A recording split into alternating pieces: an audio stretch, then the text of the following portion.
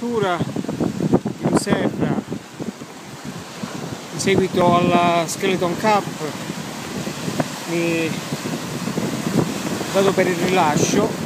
Vediamo se, se ci riesco. Ecco lo vedete? In corrente. Sto libero eh? Sto libero. Vai.